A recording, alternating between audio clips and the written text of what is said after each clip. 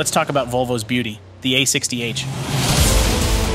Equipped with an in-house engine that develops 470 kilowatts, the A60H is versatile enough to be found on all sorts of projects, such as construction, quarry, or even mining.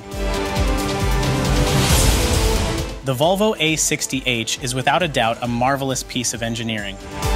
It is well known to be one of the best, if not the best, articulated dump truck in the world.